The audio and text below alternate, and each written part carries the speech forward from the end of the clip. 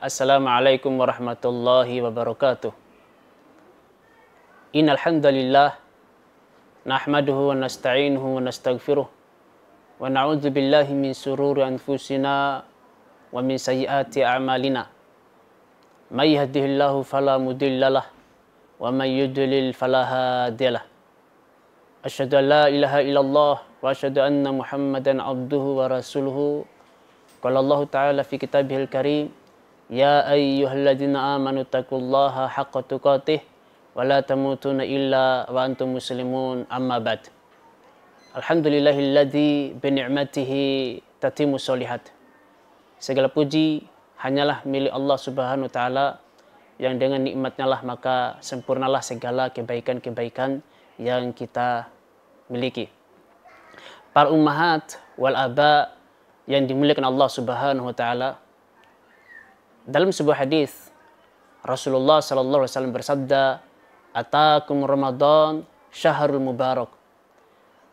Telah datang kepada kalian bulan Ramadan. Dan bulan Ramadan itu adalah bulan yang al-mubarak. Bulan yang penuh keberkahan.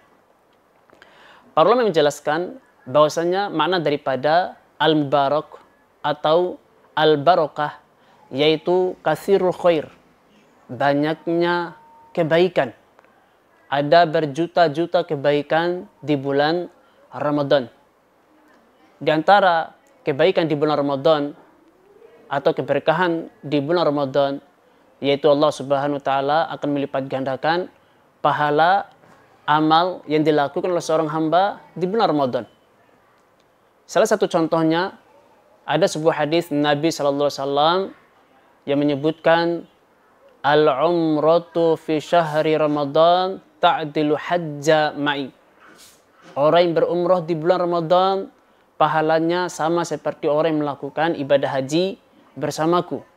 Nah, ini salah satu contoh uh, amalan yang dilipat gandakan oleh Allah Subhanahu wa taala.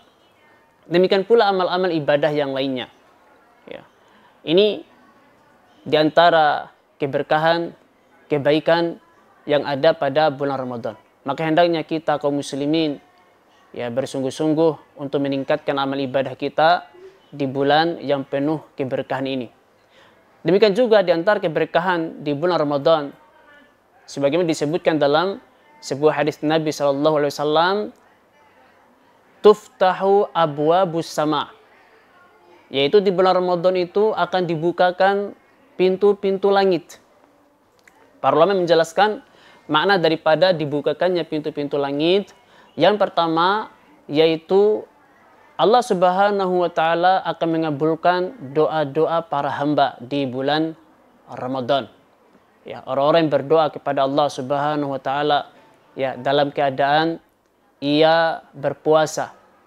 Ya, ini termasuk di antara uh, doa yang mustajab, yang makbul yaitu ketika seorang dalam keadaan berpuasa ia berdoa kepada Allah Subhanahu wa taala. Kapan pun waktunya selama dia masih dalam keadaan berpuasa maka hendaknya dia berdoa kepada Allah Subhanahu wa taala. Berapa banyak kaum muslimin yang berpuasa?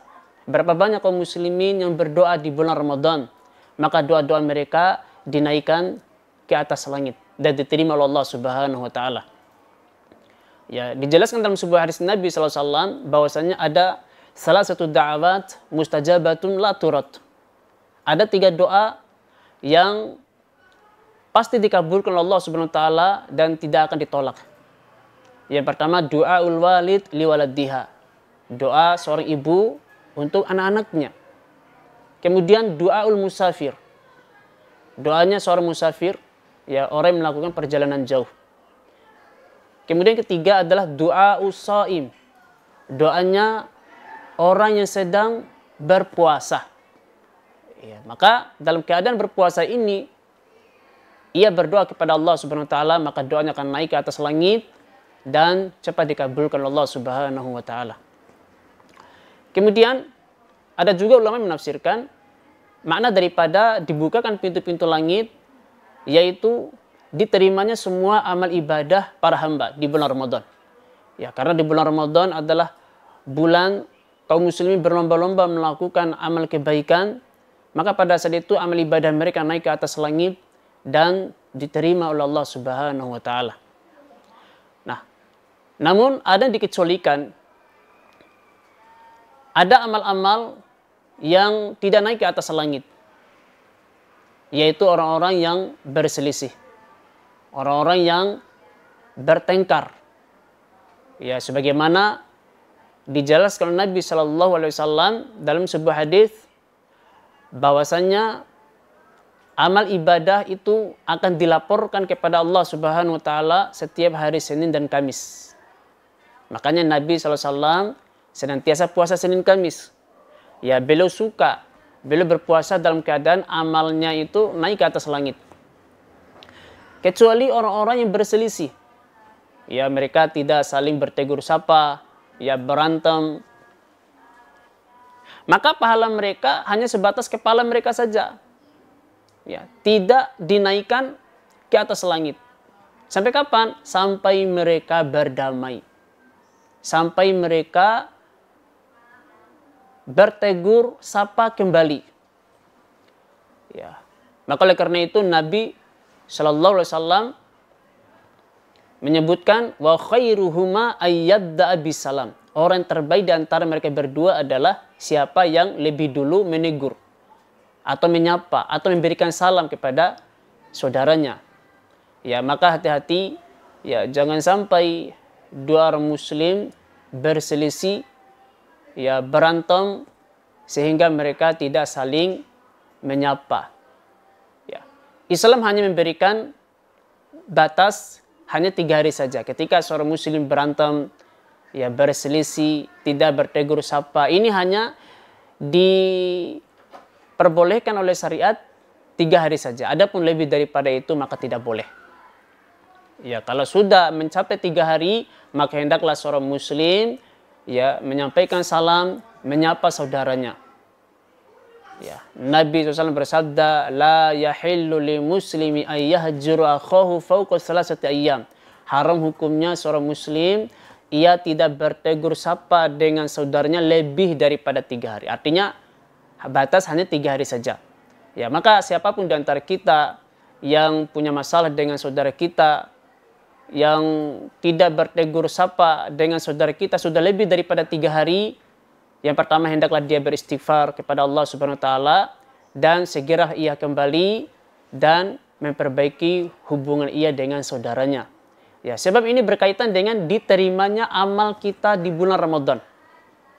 Ya, kita tidak ingin kita sudah letih melakukan amal ibadah kepada Allah Subhanahu wa taala, lalu amal kita tidak tidak diterima oleh Allah Subhanahu wa taala. Ya. Amal ibadah kita hanya sebatas kepala kita, tidak sampai naik ke atas langit. Ya. Kemudian di antara keberkahan di bulan Ramadan, Nabi SAW bersabda, Futihat abwabul jannah. Di bulan Ramadan itu dibukakan pintu-pintu surga Allah Subhanahu wa taala, yakni potensi seorang hamba untuk masuk ke dalam surga Allah Subhanahu wa taala di bulan Ramadan itu amatlah besar. Ya, demikian juga keberkahan bulan Ramadan itu adalah sufidati syayatin ya semua para setan-setan itu diikat oleh Allah Subhanahu wa taala. Sehingga para hamba bisa lebih leluasa perbanyak amal ibadah kepada Allah Subhanahu wa taala. Pertanyaannya, kenapa di bulan Ramadan masih ada ya bahkan bisa kita katakan ya banyak juga orang yang berbuat maksiat di bulan Ramadan bukankah syaitan itu sudah dibelenggu? Ya, sebagaimana hadis tadi, ya jawabannya ya memang benar. Di bulan Ramadan masih ada orang berbuat maksiat. Sedangkan setan-setan itu dirantai atau dibelenggu. Perlu diketahui bahwasannya sebab manusia melakukan perbuatan maksiat ini bukan karena semata-mata dorongan atau bisikan syaitan. Tetapi pada diri manusia itu juga ada hawa nafsu.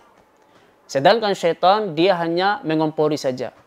Dia hanya yuwaswisu fi sudurin nas, memberikan bisikan-bisikan. Ya. Kemudian pada diri manusia itu ada hawa nafsu. Nah, hawa nafsu ini sebagaimana kata Allah Subhanahu wa taala, "Inna nafsa la'ammaratun bisu."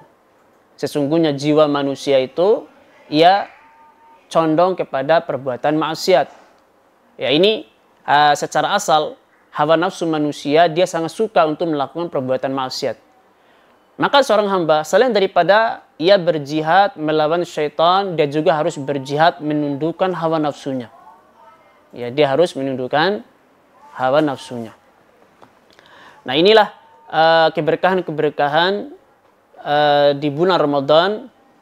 Ya, maka seorang hamba hendaknya ya benar-benar ia memanfaatkan bulan Ramadan ini bulan yang penuh keberkahan. Ya, apabila ia mampu melewati uh, bulan Ramadan ini dengan kebaikan, dengan sungguh-sungguh dalam beribadah kepada Allah Subhanahu wa taala, maka ia akan mendapatkan ampunan dan rahmat Allah Subhanahu wa taala. Ya. Nah, sebaik sebaliknya hamba yang tidak bersungguh-sungguh memanfaatkan bulan Ramadan ini, bulan yang penuh keberkahan ini, maka dia akan keluar sebagai hamba yang celaka. Ya, seorang hamba di bulan Ramadan ini hanya dua saja. Ya. Ima dia sebagai hamba yang membawa ampunan dan rahmat Allah Subhanahu wa taala, ima ia menjadi hamba yang celaka. Tidak ada yang ketiganya. Ya, dalam sebuah hadis Nabi SAW katakan, "Rogi ma'an celakalah seseorang yang keluar dari bulan Ramadan ia tidak mendapatkan ampunan dan rahmat Allah Subhanahu wa taala. Ya, sekali lagi di bulan penuh keberkahan ini yang banyak kebaikan hendaknya seorang muslim betul-betul memanfaatkan waktunya untuk uh, beribadah kepada Allah Subhanahu wa taala. Tapi bagaimanakah cara kita menghidupkan bulan Ramadan? Ya. Yang pertama, menghidupkan bulan Ramadan yaitu dengan perbanyak amal soleh semua kebaikan-kebaikan, ya, semua amal ibadah hendaknya dilakukan oleh seorang hamba. Entah itu ia berzikir kepada Allah atau ia melakukan sholat duha. Demikian juga ia bersilaturahim, bersedekah, ya menyingkirkan gangguan dari jalan, membantu orang dalam kesusahan, menebarkan senyuman, menebarkan salam, semua kebaikan harus dia lakukan. Karena sesungguhnya bulan Ramadan ini adalah bulan kebaikan. Namun ada paket amalan di bulan Ramadan yang spesialis. Yang betul-betul dijaga oleh seorang muslim. Yang tidak boleh dilalaikan, tidak boleh ditinggalkan oleh seorang muslim. Merugi kalau dia meninggalkannya. Ada pun beberapa paket amal yang harus dijaga oleh seorang muslim di bulan Ramadan. Yang pertama adalah puasa. Ya, bagi seorang muslim di bulan Ramadan dia wajib berpuasa. Ya, kalau dia meninggalkan puasa, maka dia berdosa besar. Ya, sebab puasa adalah salah satu di antara rukun Islam. Ya, Rasulullah uh, dalam uh, salah satu ayatnya ayat surah Al-Baqarah ayat 183 Allah berfirman, "Ya ayyuhalladzina amanu kutiba alaikumusiyam." Wahai orang-orang yang beriman, wajib bagi kalian untuk menjalankan ibadah puasa. Tentunya kaum muslimin dimuliakan Allah Subhanahu taala. Ibadah puasa sama seperti ibadah-ibadah yang lainnya. Ketika kita melaksanakannya, hendaknya kita betul-betul mengikhlaskan puasa karena Allah Subhanahu wa taala. Ya, dalam sebuah hadis Rasulullah SAW bersabda, "Man soma Ramadan imanan wahtisaban, gufirolahu ma taqaddama min dzambih." Barang siapa yang berpuasa di bulan Ramadan benar-benar iman, ikhlas, mengharapkan pahala di sisi Allah Subhanahu wa taala. Maka keutamaannya adalah akan diampunkan semua dosa-dosanya yang telah lalu. Ya, kesalahan dosa yang ia lakukan selama satu tahun yang lalu, ya dihapus oleh Allah Subhanahu Wa Taala. Ya, sungguh ini merupakan suatu keutamaan yang luar biasa. Manakala seorang hamba menjalankan puasa itu betul-betul ikhlasnya karena Allah Subhanahu wa taala. Tapi khilaf di antara para ulama dosa yang diampuni oleh Allah Subhanahu wa taala. Apakah semua dosa baik dosa besar maupun dosa kecil? Yep. Yang pertama, ada yang mengatakan dosa yang dihapus itu adalah dosa besar juga dosa kecil. Ya, dosa besar dan juga dosa kecil. Ya, sebagian ulama ini ya ia memahami konteks hadis ma taqaddama yaitu huruf ma. Ya, ma di sini dalam artian semuanya apa-apa yang telah lewat dari dosanya. Ya, sehingga ulama ini ya menafsirkan berarti termasuk dosa besar juga yang diampuni oleh Allah Subhanahu wa taala. Ini pendapat pertama. Kemudian ada pendapat kedua, adapun dosa yang diampuni oleh Allah Subhanahu wa taala karena uh, puasa yaitu hanya dosa kecil saja yang diampuni oleh Allah Subhanahu wa taala. Ya, dosa kecil saja. Adapun dosa besar itu uh, tidak diampuni kecuali harus taubat secara khusus. Ya, dia harus melakukan taubat secara khusus dengan memenuhi syarat-syarat taubat. Ya, jadi pendapat yang rojih ya wallahu taala alam adalah pendapat yang kedua yaitu uh, puasa akan menghapuskan dosa-dosa kecil saja. Adapun dosa-dosa besar seorang hamba harus bertobat secara khusus dengan memenuhi syarat-syaratnya. Tapi kemudian amalan yang kedua yang harus dijalankan oleh seorang hamba di bulan Ramadan yaitu melakukan qiyamul lail. Salat malam ya qiyamul lail ya di bulan Ramadan ini kita kenal dengan sholat tarawih. Adapun qiyamul lail, sholat malam di luar bulan Ramadan kita kenal dengan sholat tahajud. Ya. Sholat qiyamul lail ini ikhwati yang dimuliakan Allah Subhanahu wa taala ini amat dianjurkan dalam agama kita. Bahkan qiyamul lail di awal Islam hukumnya wajib. Hukumnya wajib. Ya, kaum muslimin demikian pula Rasulullah SAW mereka wajib melakukan qiyamul lail. Ini di awal-awal Islam sebelum Nabi SAW melakukan hijrah. Eh, maaf, sebelum Rasulullah SAW melakukan Isra dan Mi'raj. Ya. Ketika Nabi SAW Isra dan Mi'raj menerima solat lima waktu sehari semalam, maka Sholat lima waktu itu menjadi wajib, sedangkan qiyamul lail statusnya berubah menjadi sunnah muakkadah. Yaitu sunnah yang sangat-sangat dianjurkan. Sunnah yang sangat-sangat ditekankan. Ini bagi umatnya. Ya, adapun bagi Rasulullah SAW tetap wajib. Ya, Rasulullah SAW tetap menjalankan sholat qiyamul lail.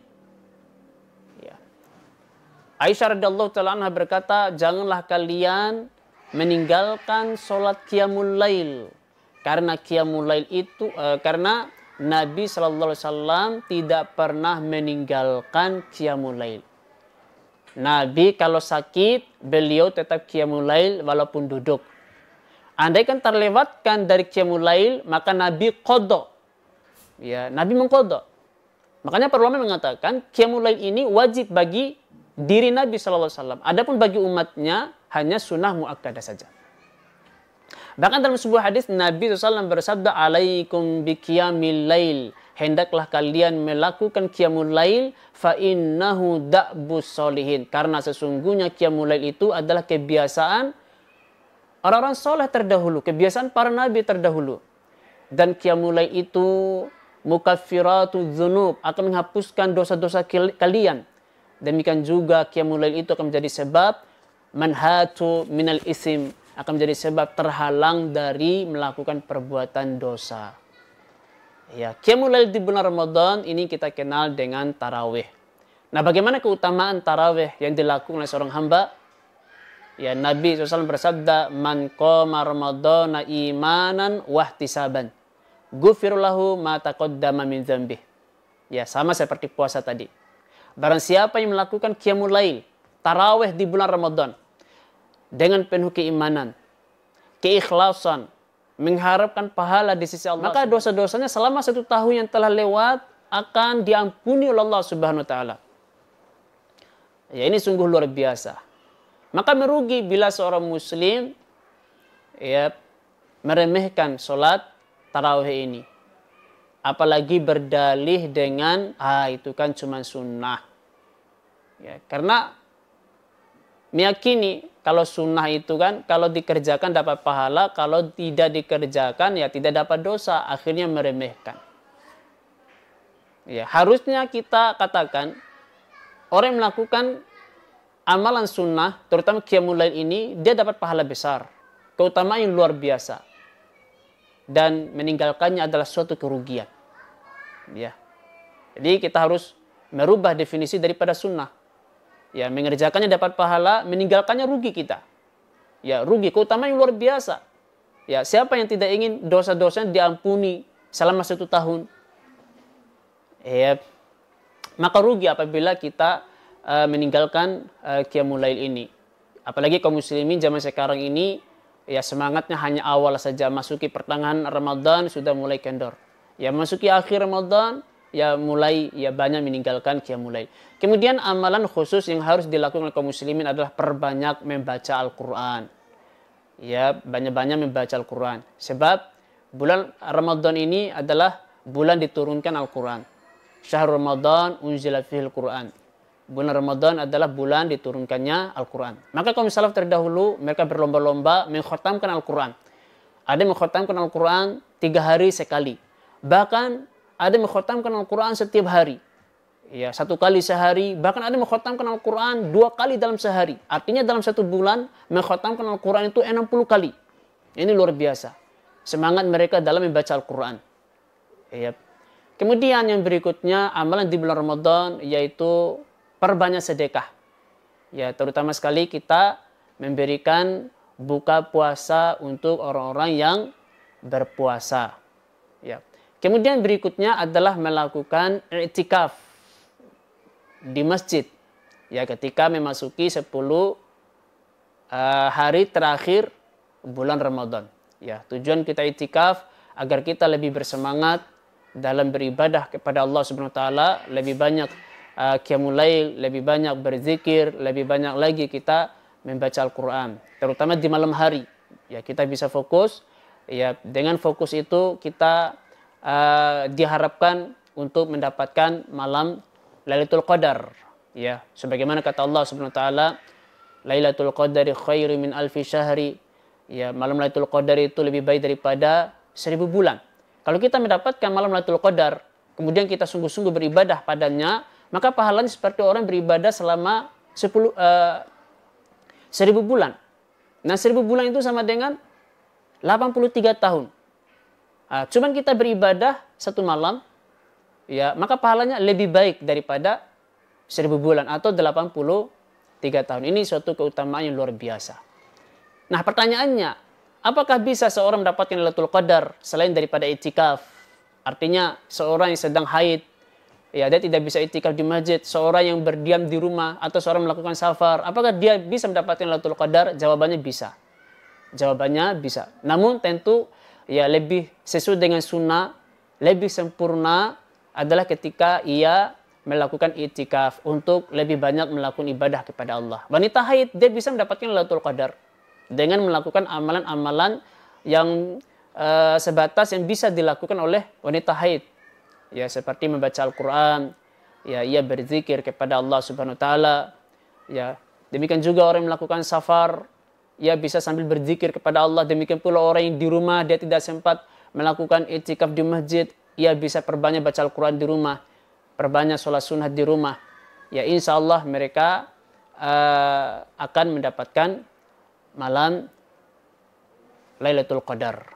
Nah inilah uh, beberapa paket amalan di bulan Ramadan yang harus dijaga oleh kaum muslimin tidak boleh diremehkan. Yang semoga dengan kita menjaga amalan-amalan ini kita bisa keluar dari bulan Ramadan dengan membawa ampunan dan rahmat Allah Subhanahu wa taala. Aku liqul hadza astaghfirullah li wa lakum innahu huwal ghafurur rahim. Assalamualaikum warahmatullahi wabarakatuh.